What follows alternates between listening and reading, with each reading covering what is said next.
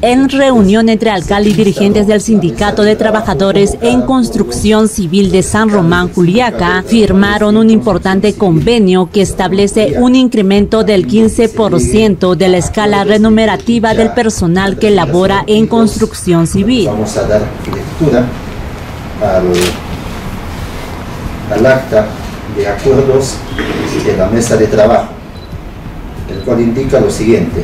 En la sala de, reuniones del despacho de alcaldía de la Municipalidad Provincial de San Román, siendo 10 a.m. del 17 de mayo de 2023, se instaló la mesa de trabajo convocada por los representantes del Sindicato de Trabajadores en Construcción Civil de San Román Juliaca, a fin de que se lleguen a acuerdos entre dicha representación y los representantes de la Municipalidad Provincial de San Juan Julián. Primero, los representantes del Sindicato de Trabajadores en Construcción Civil de Juan Juliaca hacen llegar al alcalde y sus funcionarios las propuestas de negociación en favor de los trabajadores en construcción civil. Segundo, luego de recibir las propuestas de negociación en la mesa de trabajo y luego de haber deliberado la viabilidad presupuestal y normativa de las propuestas, se llegaron a los siguientes acuerdos.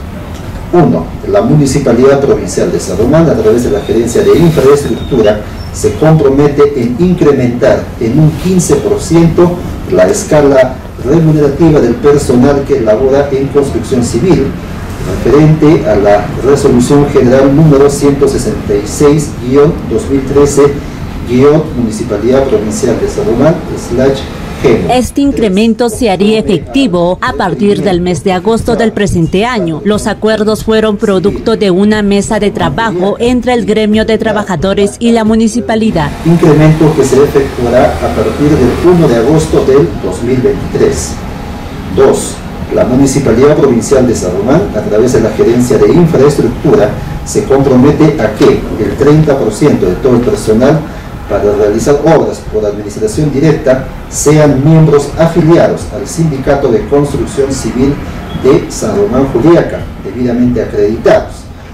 Durante la firma del convenio, representantes del sindicato expresaron su satisfacción por el logro alcanzado. Agradecer la predisposición del señor alcalde, la disposición del gerente, señor Melquiades, del señor de Recursos Humanos, de la señorita Janet, y del señor Johnny, que gracias a ellos es que se ha llegado a este convenio a favor de los hermanos de construcción civil, que por mucho tiempo lo verían esperando. Son 10 años que han estado a la espera de este incremento y este es solo un paso para llegar a lo que es el régimen de construcción civil que prima en todo el Perú.